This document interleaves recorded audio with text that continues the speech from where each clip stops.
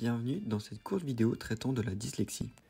Nous allons voir ensemble la définition, les causes, le diagnostic et les aménagements possibles à la dyslexie. Cette vidéo est réalisée dans le cadre du module ES1 Professionnalité de la HETSL.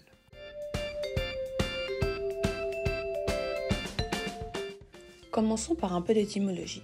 Le mot dyslexie vient du grec dys et lexie. Dys exprime l'idée de difficulté ou encore de malheur, tandis que lexie représente la langue écrite ou encore le mot. Rien qu'avec cette simple analyse du mot, nous avons déjà une petite idée de ce que peut bien être la dyslexie.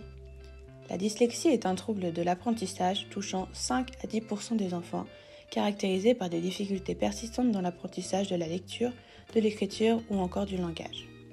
Plus précisément, c'est un problème de fonctionnement du cerveau impliquant une difficulté à percevoir et à analyser de façon précise et rapide les sons et les lettres dans les mots. La dyslexie fait partie de la famille des dys, regroupant de nombreux troubles d'apprentissage comme la dysorthographie ou la dyscalculie, mais aussi des troubles du développement tels que la dyspraxie.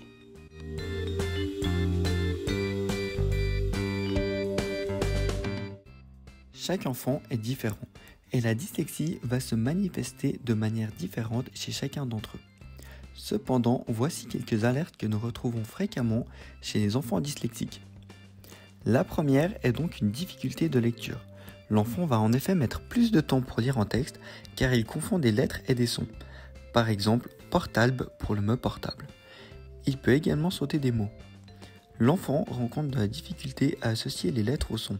Par exemple, PH pour le son F. De même, il risque de confondre les mots semblables. Cela peut impacter sa capacité à reconnaître rapidement les mots. Le second facteur est une difficulté d'écriture. L'enfant peut confondre des lettres, voire des syllabes. L'enfant peut également rencontrer des difficultés de langage, se manifestant par des difficultés à prononcer certains mots dont il n'a pas l'habitude. De même, il aura des difficultés à apprendre des nouveaux mots. Enfin, l'enfant peut utiliser très souvent des mots passe-partout, tels que chose, faire, aller.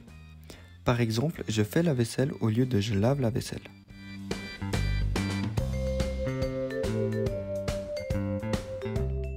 Comme mentionné plus tôt, la dyslexie est un trouble d'origine neurologique. En effet, la dyslexie est un dysfonctionnement localisé du cerveau touchant uniquement certaines régions. Les autres zones, quant à elles, fonctionnent tout à fait normalement. La dyslexie semble également être héréditaire. Ainsi, il est possible de trouver plusieurs personnes dyslexiques dans la même famille il est important de se rappeler que la dyslexie n'est pas un manque d'effort de la part de l'enfant.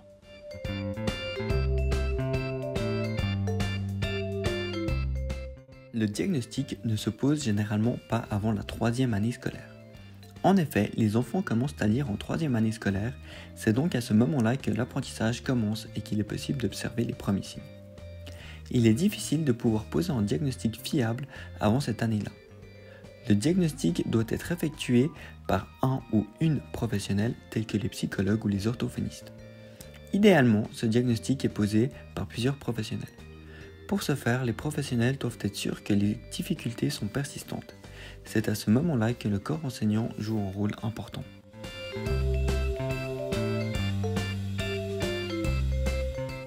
La dyslexie ne disparaît pas.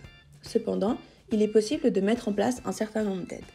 Même si chaque personne est unique, il existe de nombreuses manières communes qui permettent de soulager celles et ceux qui en souffrent. Des séances de logopédie spécifiques et ciblées permettent de réapprendre à lire ou encore de reconnaître les mots plus rapidement. À la maison, de nombreuses choses peuvent être mises en place. Par exemple, lire à haute voix ou jouer à des jeux faisant appel aux lettres, comme le Scrabble, permettent à nouveau de former un vocabulaire et il devient alors plus facile de reconnaître et identifier les mots en question. Des aménagements comme du temps supplémentaire ou une augmentation de la taille de la police dans les textes sont aussi très utiles pour les personnes dyslexiques. Nous voilà à la fin de notre courte vidéo. Nous vous remercions pour votre visionnage et espérons que cela vous a été utile.